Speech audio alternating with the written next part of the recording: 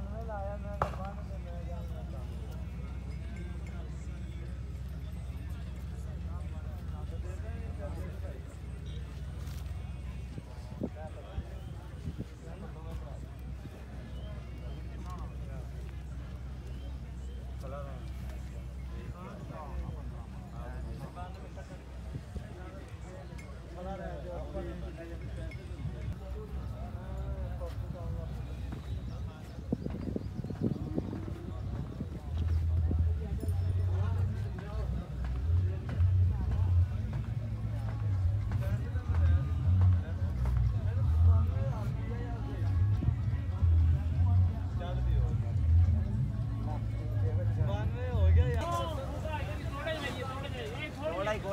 आप पे गिराइया।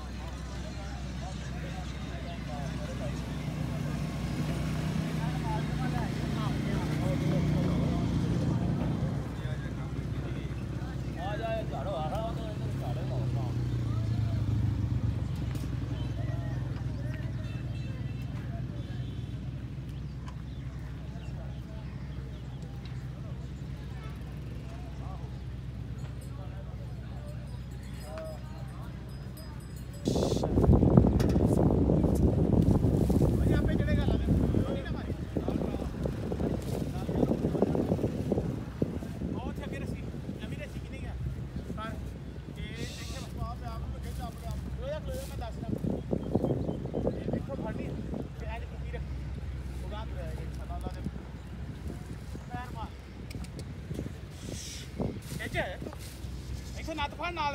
ਖਿੱਚ। ਚੱਲ ਮੋਟਰਸਾਈਕਲ ਜਾਵੇ ਮੋਟਰਸਾਈਕਲ ਲੈ ਕੇ ਆਵਾਂ ਠੀਕ।